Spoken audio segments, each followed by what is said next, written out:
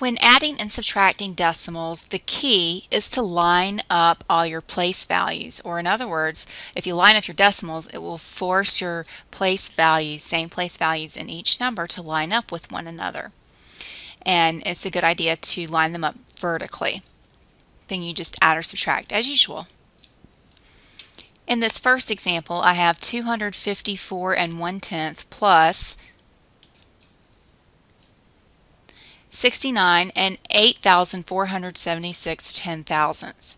So the first thing I want to do is write these two numbers and line up their decimals. And if it helps, you can use zeros as placeholders to line up all your place values that go together. And this is really the key to adding and subtracting. And then you just add as normal to get 323 and 9,476 ten thousandths. The same rules apply for subtraction, so why don't you give this one a try? Remember that whenever you have a whole number, where is your decimal? It's at the end. It's understood. So for 7,000, this is the same thing as 7,000.0 or 7,000 with the decimal point at the end. So line up those decimals and subtract. Here's what your problem should look like when you lined up your decimal.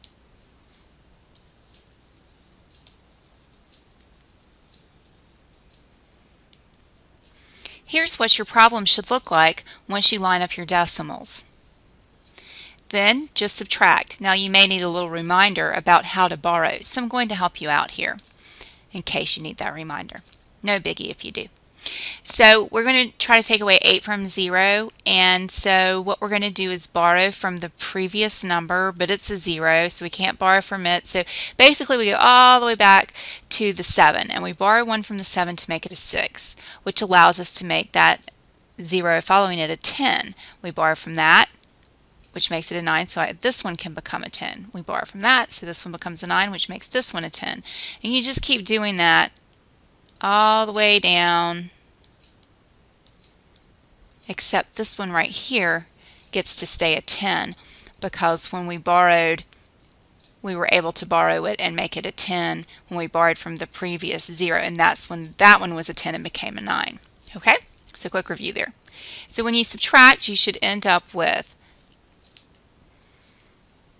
6,999.997002 Go to the next page and complete problems 1 and 2 and then check back. Here are the solutions. Pause and check your steps and answers. Go ahead and scroll to the next page and try these two problems. Here are the steps and answers. Please pause and check yours. Scroll to the next page and try numbers 5 and 6. Here are the steps and answers. Scroll to the last page and try 7 and 8.